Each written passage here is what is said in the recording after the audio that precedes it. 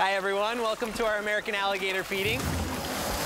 ZooTampa is an incredible place Buddy. with beautiful animals from all over the world. You're such a good boy. Wow. Hi, guys. the animals come out and play, and people get that up close and personal experience. The animals here at the zoo, they're like our children. They're kissing. Secrets of the Zoo Tampa, new series Sunday, January 5th at 9 on Nat Geo Wild.